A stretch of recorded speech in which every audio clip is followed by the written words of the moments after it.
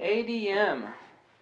Um, this is something everybody gets wrong because nobody really distinguishes the difference. He's like, how fast is that car? I don't know. What's a Lamborghini? It must be fast. Well, if you stick uh, some bald tires on that Lamborghini and you drive it uh, in the wet roads, that Lamborghini is going to suck. And it's going to, when it comes to cornering on the wet roads, that Lamborghini is going to really suck. Well, it's got positive traction and you got bald Michelin tires on it. That Lamborghini is going to suck. Um, acquisition, drive, and motor. Someone says, how fast is that camera? How fast is the autofocus? Well, we're talking about three different things here. Acquisition, the drive, and the motor. Okay, now uh, screw drive. You know, there's a little slot on the back. It's actually a mechanical drive. That's one variety. That's the actual drive. What about the motor that's in it? That makes a huge difference also. The autofocus ability of the camera. Um, you know, low light acquisition like the Nikon D500, which I'm not using right now. Um, really, really fast. Negative 4 EV autofocus acquisition. Now, if you're going to shoot at something really un, you know, something that has no contrast, then uh, even the best camera is going to have an issue.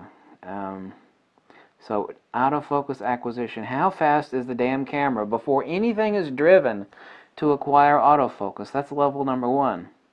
Level number two, is it going to be driven via the lens or is it going to be mechanical drive, screw drive, um, from the motor that is built into the camera? It's a little screw drive motor that actually drives the lens mechanically. It's actually, you can see the little uh, slot on the back of the lens where the actual motor in the camera drives that lens. Okay, autofocus from the camera, then the drive, or is the drive actually inside the camera? Well, okay, that's fine now. So now we've gone away from uh, mechanical driven lenses to internally driven autofocus. Great. And then we got to ask ourselves, and this is—I've made a couple of videos about this, lying, a Nikon is a lying dog. They'll tell you that something is a, a uh, SWM, is a silent wave motor.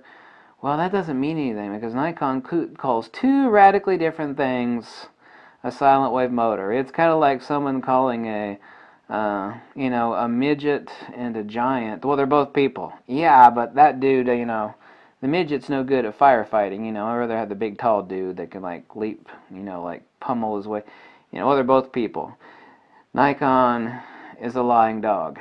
When you read that it's an AFS lens, that doesn't tell you what's inside of it. It's either a hubless a silent wave motor, a true silent wave motor, or it could be a mechanical micro motor with plastic gears. Uh, and the silent wave is uh, faster. It's also more reliable and it doesn't really break down like the other drive. So, autofocus, drive, and motor. The autofocus on the camera side, how fast it can see what the hell to autofocus on. The camera makes a decision. Boom. Then, what sort of drive is it? Is it gonna is it gonna send a, uh, energy signal to the motor inside the lens, or is it gonna be mechanical drive?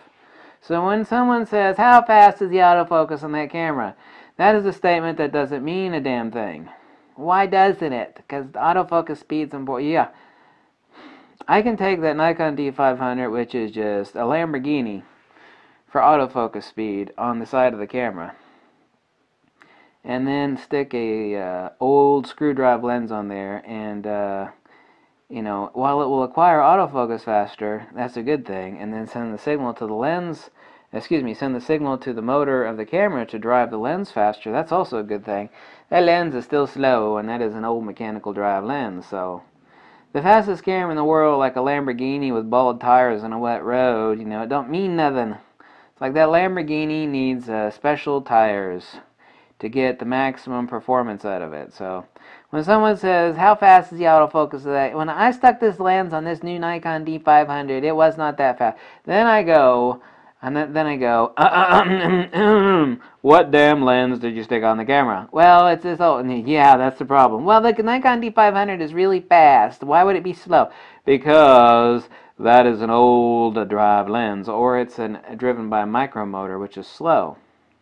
So I, I hope I made myself really clear here, and uh, pointed out the levels of differentiation when it comes to autofocus speed. Because autofocus speed is a, a BS phrase that doesn't mean anything.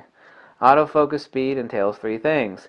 Your camera and its autofocus acquisition capabilities, or lack thereof.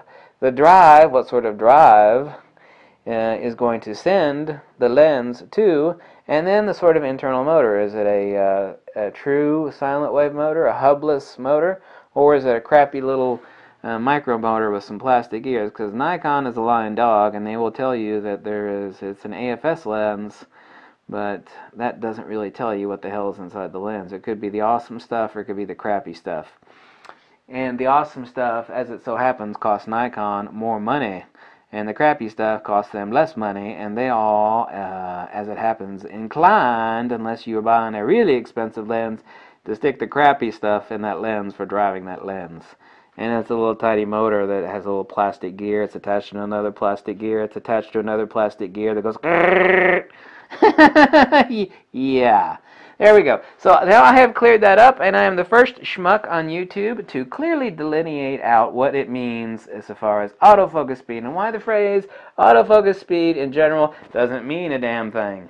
You have to be specific, and specificity is divinity. Okay? Thanks. The devil's in the details, as they say. Bye.